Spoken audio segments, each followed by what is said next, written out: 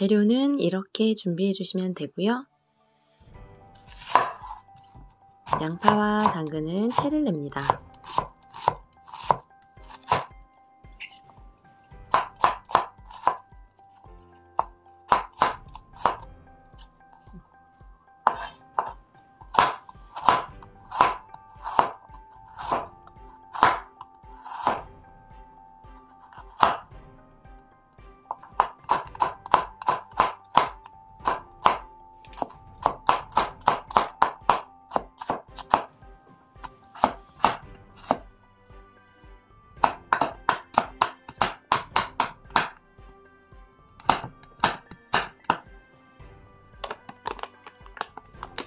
볼에 부침가루와 튀김가루를 넣어주는데요.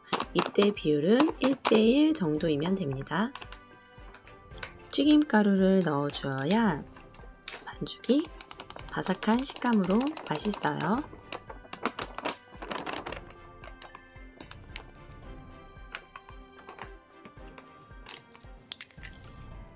계란을 넣어서 물을 붓고 반죽을 풀어줍니다.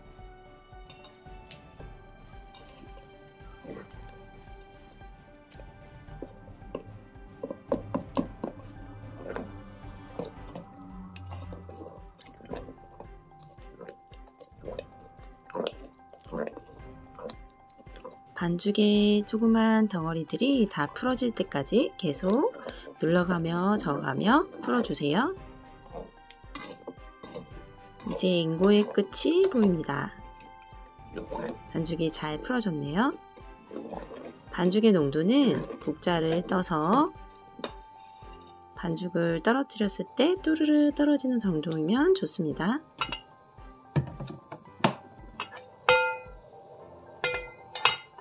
팬에 기름을 두르고요. 먼저 반죽을 넣어서 펴세요. 그리고 해물을 올립니다.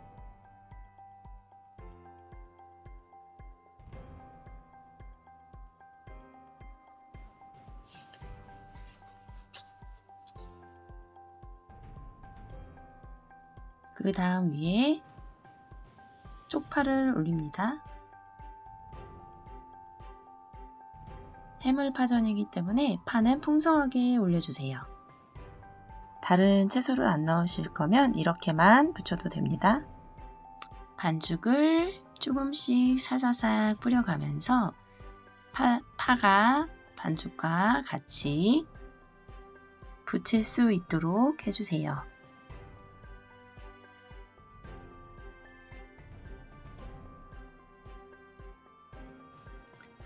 잘라놓은 양파와 당근을 올려주시고요. 다시 반죽을 사사사사 뿌려서 붙일 수 있도록 합니다. 이게 뭐 어떤 분들에 따라서는 양파와 당근을 먼저 올려주시고 쪽파를 올려주셔도 됩니다. 그건 여러분 마음대로예요. 기름을 조금 더 넣어서 튀기듯이 붙입니다. 불은 약불로 해서 서서히 익힙니다. 그래야 타지 않고 부침이 함께 잘 붙어서 뒤집어집니다.